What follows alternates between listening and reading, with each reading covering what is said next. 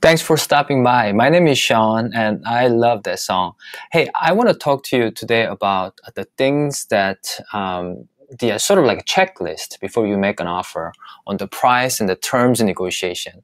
When I write an offer for my buyers, basically I, I ask the listing agent on a phone call, not text. I mean, typically phone call is the best way to get some good information about the seller who is on the other side represented by the listing agent. I ask them, why are they selling?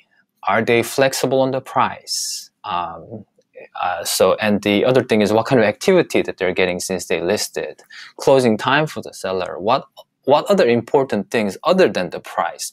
When I gather all that information, typically I have a good sense of what it would take to make that deal happen for you. Um, and if it's a multiple offer situation, obviously the conversation is completely different whatever to make your offer look the best, right? Without paying the most. I mean, and there are other ways to do that. Uh, and so please let me know um, if you have any questions about this because it's not a clean cut thing. I mean, it's a, there's many different things kind of mixed in together to get you the best house for the best price and the terms. So feel free to let me know. Thanks for watching.